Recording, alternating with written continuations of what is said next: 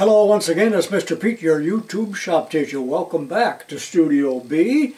And this is video number three on the beautiful little beam engine by Retrol. I hope you watched the other two, but in this particular episode I'm going to talk strictly about Watt's parallel motion. Now James Watts was a Scotsman and he had many inventions. He did not invent the steam engine. He had many patents on improvements of the steam engine. But of all of his inventions and patents, he was most proud of his parallel motion linkage. So let's get into that.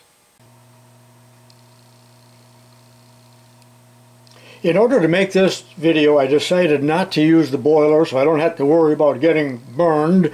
So I'm simply using a little electric motor to drive the engine so we can examine the linkage. And here it is. Now it's a little bit hard to see because we've got other bars and uh, components in the way. But there it is, and I'll move the camera around just a little bit. And here it is from a bird's eye view. And this is an 8 bar or 8 link type of parallel motion linkage. It's very intricate. Now let's talk about what the purpose is of Watt's linkage. Here's yet one more view, more or less from the bottom.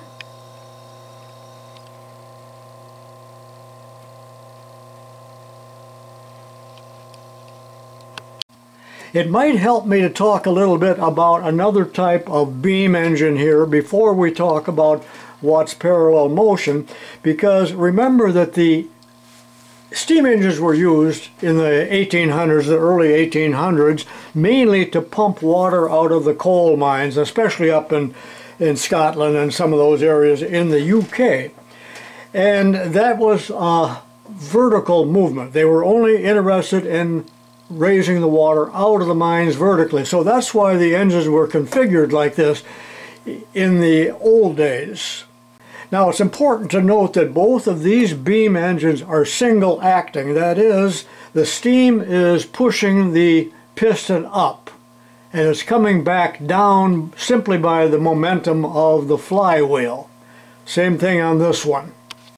Now the little Miller beam engine has no Watt's parallel motion mechanism and in order for it to operate we have to have a linkage right here and on the piston itself right here so that when it goes up and down the entire connecting rod is swinging a little bit as is the piston. So that's how they get around it on this type of beam engine. So as you can imagine, the beam on this engine, as it is rotating back and forth, it's describing an arc, or should I say a circle. So the length of the beam on this particular engine is four and three fourths, half of that's two and three quarters. So let this represent the circle that the beam is uh, describing. Does that make any sense or am I a little bit off here? So in other words, the end here of the beam is not always going straight up and down. It's traveling in an arc like this. Later on, one of the improvements that Watt or other people made on the steam engines, they made it double acting which means that there would have been a packing box here on the top for the piston rod. So now we can go back to the other engine and talk about that. So the brass beam on this engine is three and a half inches long. So the radius, of course, is half of that. So I drew another little circle here, three and a half, but it's upside down right there. So putting that back there with the center approximately on the pivot point right here, you can see also that the end of the beam here is doing what? It's going in, I gotta take that belt off. It's again scribing an arc right here. Now it doesn't it wouldn't matter so much on this particular engine they could have built it like the little Miller engine if they wanted to but I think they wanted to employ the Watts linkage there maybe for beauty I'm not real sure but I'm glad they did if you're interested in this little linkage go to Wikipedia or just do a search on Google for Watts parallel motion and you might be able to uh, have a better understanding of, of what's happening here because I can't really give you any uh, information in regards to the mathematics of it. That, but the linkage allows the piston rod to remain almost, not exactly, but almost parallel with the beam or with a plumb line. So that's the purpose of it. As the years went by in developing steam engines, they determined there's other uses for an engine besides pumping water, so that's when they started building them horizontally. Now, when they build a horizontal engine, there's a crosshead right here or other ways of keeping the piston rod perfectly parallel with, let's say, the bed or the horizon. So the Watts parallel motion linkage went out of favor at that time. So you didn't see it so much. But at the end of the video, I'm going to show you a lot of pictures of Victorian engines and so on. And uh, you can see the Watts parallel motion linkage in those pictures if you're interested. So I'm sure you're starting to understand that once they had a packing box here or a stuffing box, there's different names for it, in order for that not to wear out or leak, the piston rod had to be perfectly vertical and that's again I know I'm repeating myself the purpose of that linkage.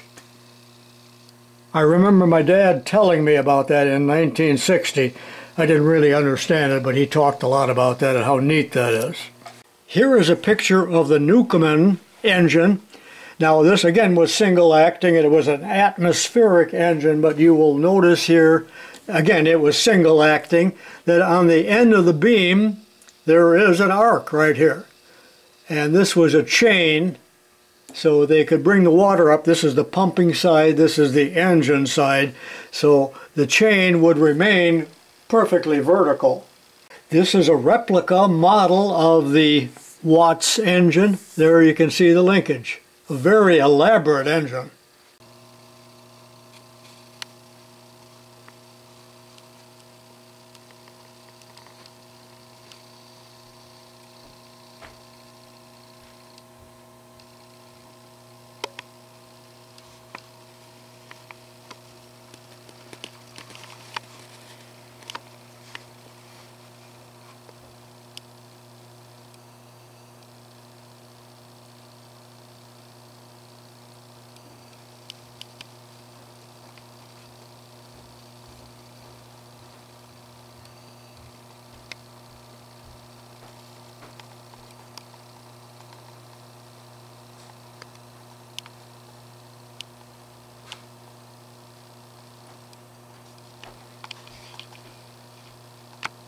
I'm not really sure how well I explained the linkage, but you can study a little bit more on that if you want. And let me also say this, that of course this is not used anymore, but the Watts linkage is used in this rear suspension of some vehicles.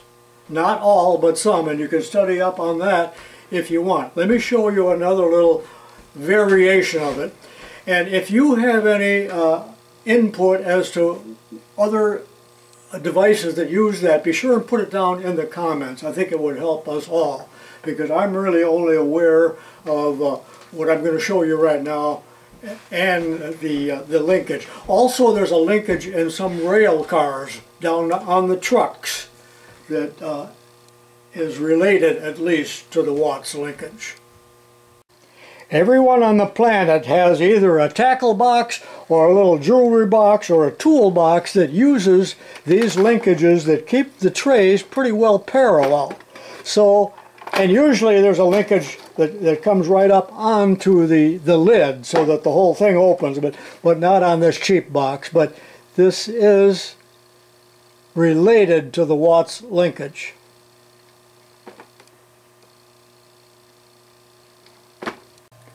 Well, if you found this little linkage and this video interesting, give me a thumbs up if you would, but only if I deserve it.